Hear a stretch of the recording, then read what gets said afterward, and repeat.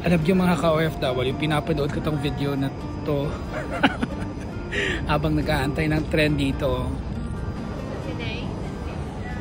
Kakauwi ko lang galing ng opisina. So, pinapanood ko tong video na to tapos hindi ko mapigilang umiyak.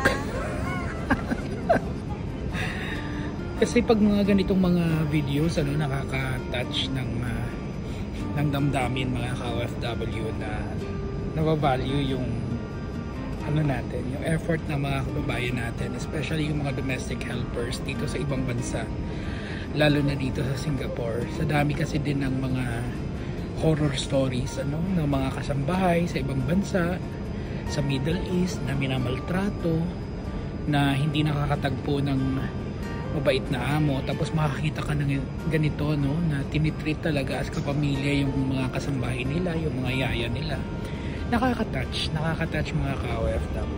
Tsaka alam ko na marami tayong mga uh, ka-OFW na mga uh, kagaya ng sitwasyon nito ni ni Manang ano dito sa video at napakaswerte nila.